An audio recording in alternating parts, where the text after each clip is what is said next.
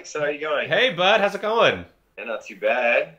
This is Matt Hamilton. Welcome, everyone, of course, to Broadway Abroad. This is Alexander Yepremian. Uh, we are doing conversations with all of my friends around the world doing theater, whether it be Broadway, uh, national tours, Japan, Germany, or this one is all the way in Australia. Now, Matt has been in uh, film, he's been in television, and of course, he's done tons of shows. Um, right now, he is in the amazing musical Mamma Mia, which we'll get to in a second. He's also done Legally Blonde, he's done the premiere of Wicked in Australia, Dirty Rotten Scoundrels, um, Dream Lover, which is the Bobby Darin story, uh, Damn Yankees, Jesus Christ Superstar. He's done the works. What's your favorite of every show, any show you've done? What was your favorite show, or is your favorite show? Oh, that's easy. Um, uh, without a doubt, career highlight would have to be once here in Australia in Melbourne. Um, uh, that for me is the tops. I, I mean, it's kind of one of those ones where I, I I'm I almost scare myself because I don't think anything will ever come close to it, you know. And I and I've done a little bit, and um, and they've all been great, but that one just sits, you know, so far ahead of everything else. So there must be something special about the show because I've also interviewed um, J. Michael Zygo, who was in the original Broadway company, and he said the same thing. There was something magical about being in this show, and I haven't seen it, so forgive me, but I, there must be something about this for a musician and as an entertainer that makes it so special, as opposed to doing Miss Saigon, for, you know, for instance. And something's really well done and really, really well written and really well directed, and and and and this great choreography. I mean, um, it, it's it just it comes to life and and um, and the, just the process as well. I mean, John Tiffany, who who directed it, um, you know, he's like, bring your families in, in into the rehearsal room. Nobody does that here. Yeah. And he's like, yeah, yeah. Oh, you got kids? Yeah. Well, just bring them in. Yeah. And it just became this family, and um, and he sort of, you know, he sort of cultivated that vibe from day one, and it and it never left. You know, so. I think I think that's definitely one of the reasons why you know, just sort of stands heads heads and shoulders above anything else I've personally done. Let's uh, let's just get this out. You and I met 13 years ago, yeah. working at Tokyo Disneyland. As yeah, buddy. And I, I can say it. I don't know if you mind me saying, but we were princes. We were Cinderella's prince, Snow White's prince, Prince Philip, and I didn't know anyone. I mean, a- anyone. And I, the one thing I remember about yeah. you is you always had your head on straight. You didn't get involved in the drama and the gossip. What advice would you really give someone if they said, "I want to work on a cruise ship or I want to work in a theme park"? Because back in the day, for us, it wasn't. It was kind of looked down upon, but now not so much. What do you What do you think? I think as a young as a young performer, I think it's a great way to sort of get your feet wet, uh, so to speak. And uh, um, there's something that as a young performer, I think theme parks and, and cruise ships, if you you know if you, if that's the route you want to start you can really sort of um, you know start to formulate good habits um, and and see how how it's done. And then you know for me i was i sort of floated through that a little bit. I was like hey this is great. This is fun. I was young.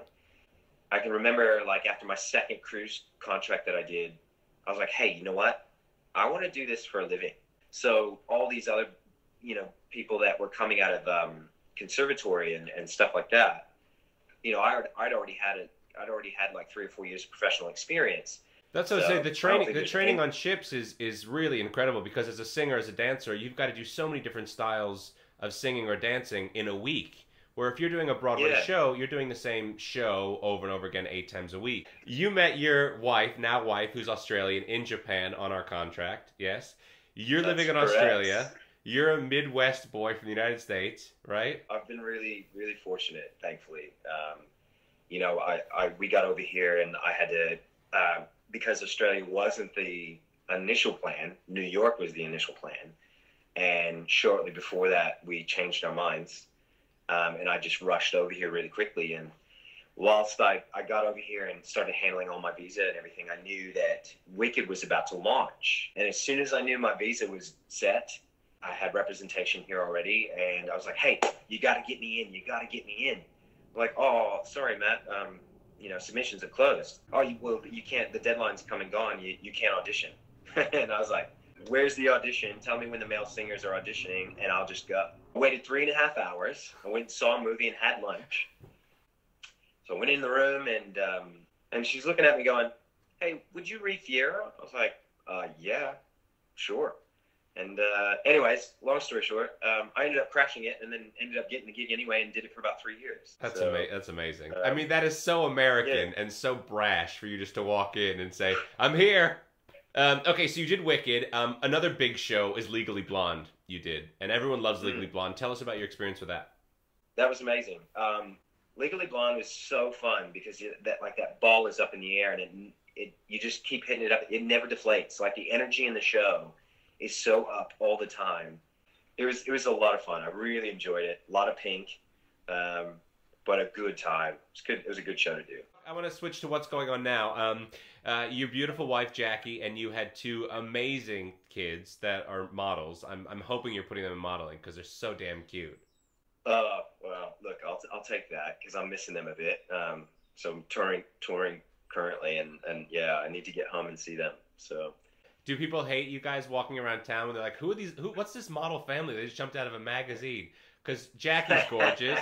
Jackie's gorgeous. Your kids are cute. You're not bad looking. I mean, it's really annoying. You, you, you need to call me more often because you're good for my you're good for my soul, Alex. You're good for my soul. Um, okay, so speaking of dad, you're now in Mamma Mia, and you're playing a role of you know the dads. Well, I'm so I I'm covering the dads. Um, I cover Sam and I cover Harry, who is from from the UK apparently by by, by way of the story. And it's I mean it's selling gangbusters. Like it's just crazy every night.